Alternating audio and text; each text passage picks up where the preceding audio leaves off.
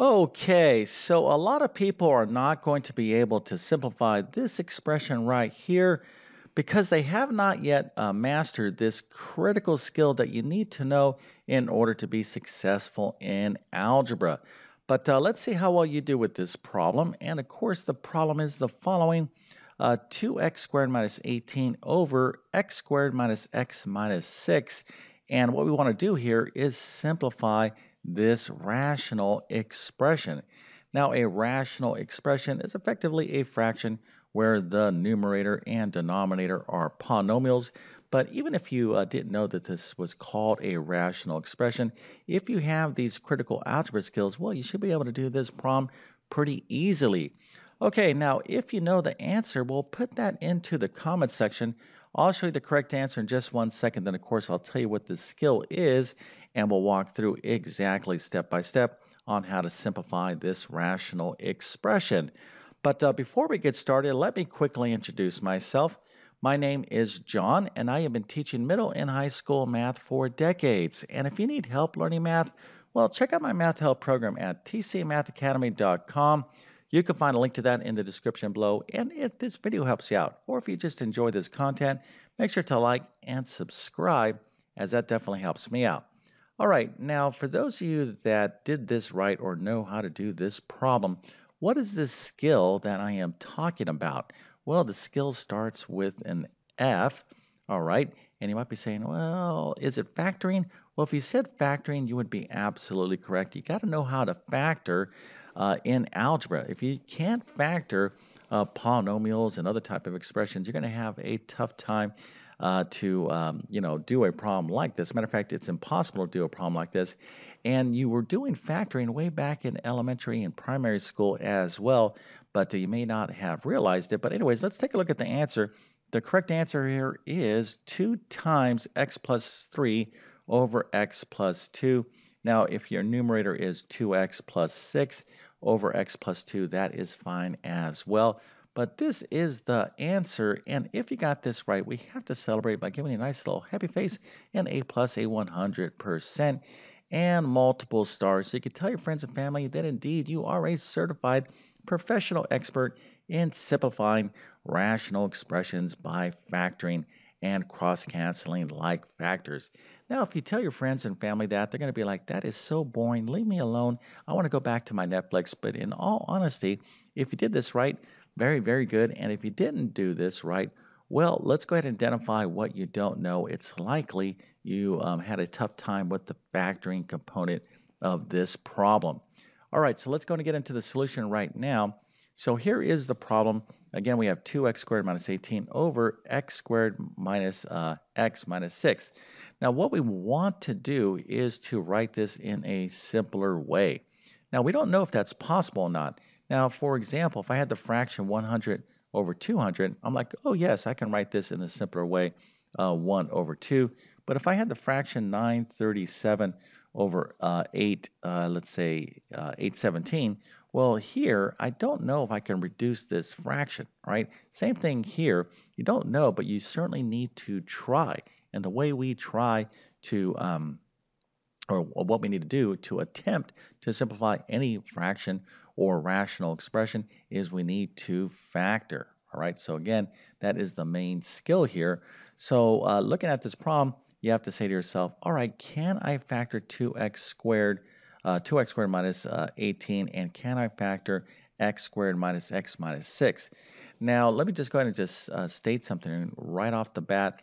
Uh, this video will not cover all the techniques that you need to know in order to factor completely in algebra. That is a huge topic in and of itself. So if you need help with factoring, let me just go ahead and uh, uh, suggest checking out my Algebra 1 or Algebra 2 courses. You can find links to those in the description. Also, I have a ton of additional videos on my YouTube channel that cover different aspects of factoring. So this is a huge uh, skill set. It's not just one individual skill. Okay, but nevertheless, we need to know how to factor the numerator and denominator, or at least attempt to factor, because sometimes uh, you cannot factor. Uh, you're dealing with something that is just prime. Now, if we can factor uh, this uh, problem, then we, we're going to think in terms of like a regular fraction. So let's use a simple example here. So what we're kind of uh, doing is no different than what we would do to simplify, again, a regular, a regular numeric fraction.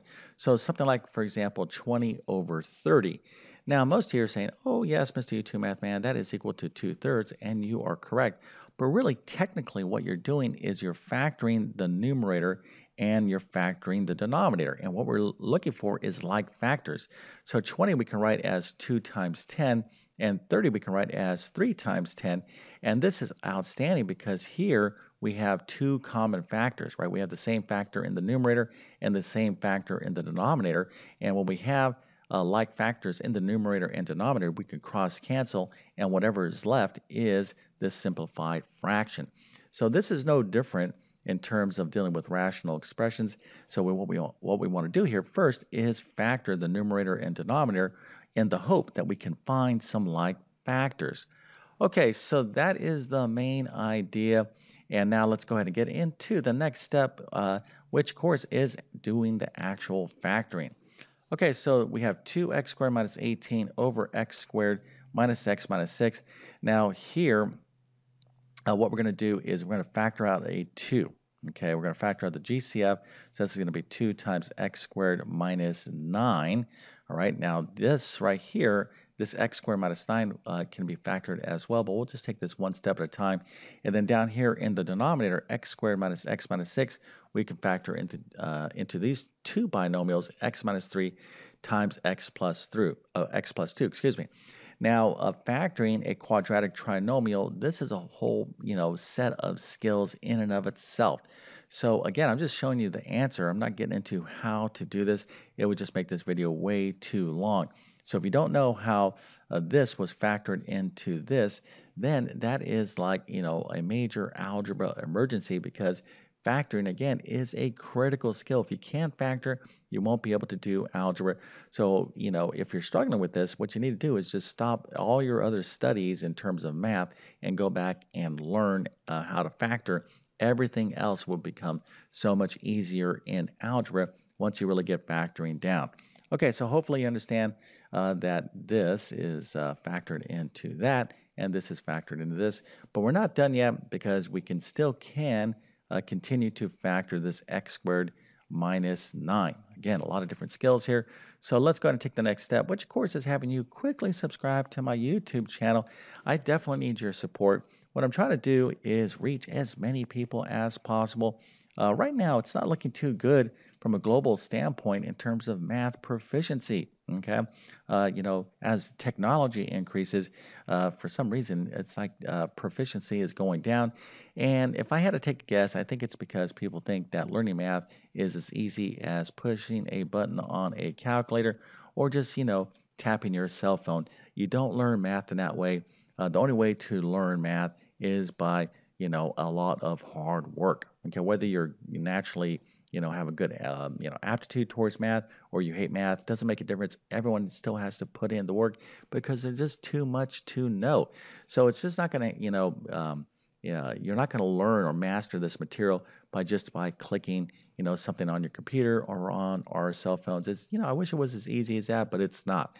So, you know, I think a lot of people are looking for shortcuts. Again, there are no shortcuts, but really the most effective way, okay, to learn math once you're willing to put in the work is to find someone who can teach you in a way you like and understand, someone who get, delivers comprehensive instruction. That is critical because if you're getting like little quick tutorials or you're getting little fast little lessons, I can show you how to do this problem in like uh, 30 seconds, right? Okay, you do this, this, and this, and this, and this, done right? My videos are not that way, okay, for a reason, because I'm assuming the other person uh, on the other uh, person on the other end of this video is like you know maybe lost or they're struggling with this material so it warrants a full explanation. So if you're trying to learn math find a teacher that teaches in that matter. Now if you need help if you want me to be your teacher well listen go into my full courses. Again you can find links to those in the description.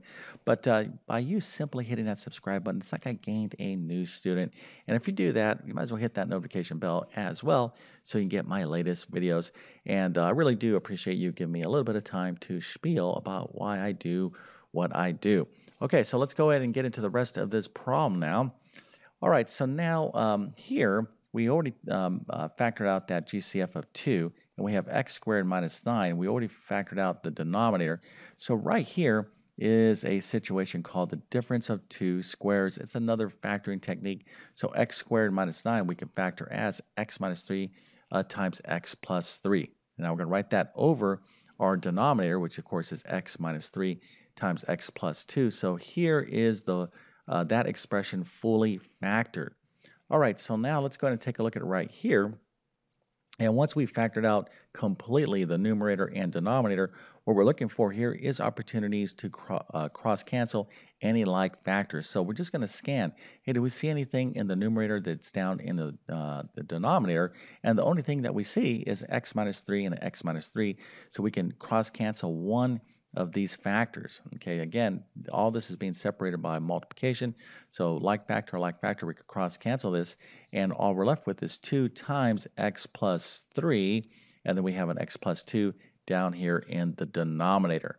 All right, so this is the final answer. Again, you could just take this 2, multiply back in, so you have 2x plus 6, but that's not necessary.